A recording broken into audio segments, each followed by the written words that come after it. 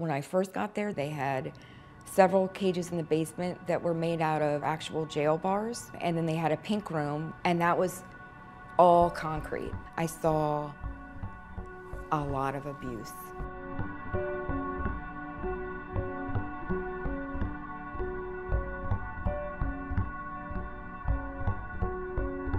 Mike would refer to himself as the dominant one.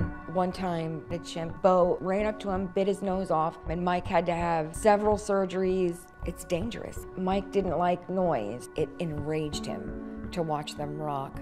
He would throw a shoe at the cage or scream at them or go up and get in their face. He would physically hit the female chimps. Chimpanzees hate water, and he would spray them for so long, and they're screaming at the top of their lungs. It's just torture.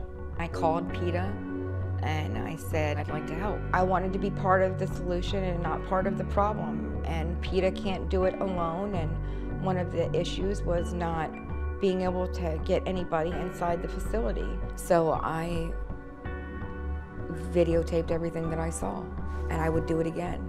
I have no regrets. If it weren't for PETA, if it weren't for the things that we did do, those chimpanzees wouldn't be free. They deserve their freedom.